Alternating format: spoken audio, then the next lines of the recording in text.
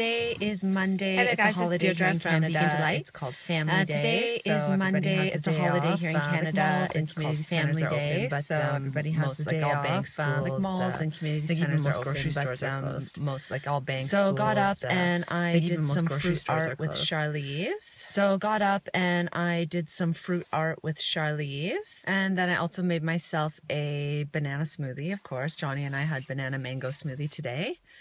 And um, then I just uh, hit the gym. Well, actually, I had a client. So, what's really cool about uh, my job is that um, this client that I went to, she has a six year old. So, it's a holiday. I don't have uh, help today. So, she said, bring the kids over. So, I went over there to train her, and our kids played together out in the playroom. Uh, so, that was really cool. My kids had fun. And then we came home, and my niece came over so that I could um, go out to the gym to do my workout. So I had to do a run today. I did uh, just six kilometer run, and then um, I did some lower body training, weights and core.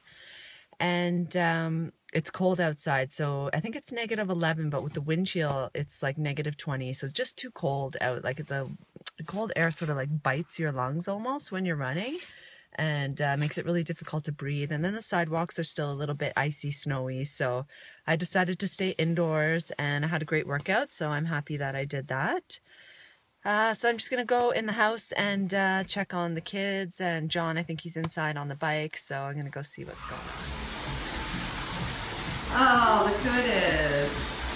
It's the Vegan Brothers.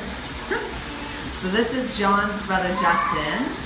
And Justin went vegan with us. He went vegan at the same time we did. Yep. So, how do you like being vegan, Justin?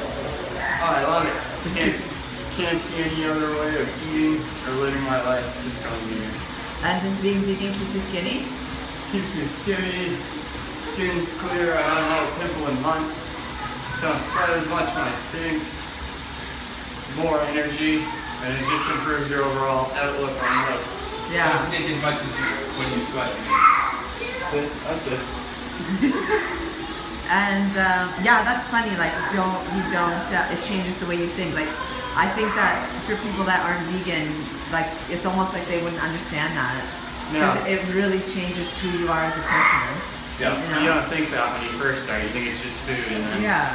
after a while, it changes your perspective. Yeah. Slowly, you just start turning into a different person. You become more compassionate. Yeah. Cool. All right. So, what was the workout today? 40 minutes easy, super easy, Yeah. just chill. Easy for you too, Justin. Uh, not too bad. I'm still getting back into things, but yeah. Cool. Low effort, low intensity. This isn't your new bike. No. No. Justin has a Trek bike as well. Trap family. Yeah, it's the Trek family. You can see. Well, you guys know we're crazy about bikes. Cool. So I had tons of ripe bananas, so I'm just um, making a bucket full for the freezer for my smoothies and ice cream. And here's my little man. He's munching on a banana. Okay, so now it is dinner time, and we are just making um, some vegetable pad thai. So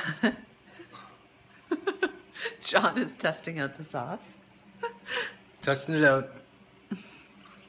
And over here we are uh, just sauteing some vegetables. Some of those look delicious. Um, so I just saute my vegetables in vegetable broth, so I don't use any oil, and the vegetable broth works amazing. It it's really tasty, and um, stuff doesn't stick to the pan. It has lots of flavor. And then I'm just boiling my pot of water, waiting for that to boil so I can throw in the rice noodles. And we're gonna have a high carb, uh, low fat, low sodium meal for dinner. Okay, so dinner's ready. Some nice uh, low-fat vegan pad thai. Uh, low sodium, low fat, high carbohydrate, just how we like it.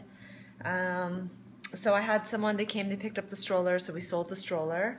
Um, so that's like an example too of where, you know, we said we were selling stuff because we want to start saving money. Um, like now, me now, if I had child, like new babies, I would never buy that stroller. Maybe I would buy it secondhand, like these people did. They were very smart. Um, you know, that makes sense, but I would never spend that kind of money now on a stroller, like knowing what I know.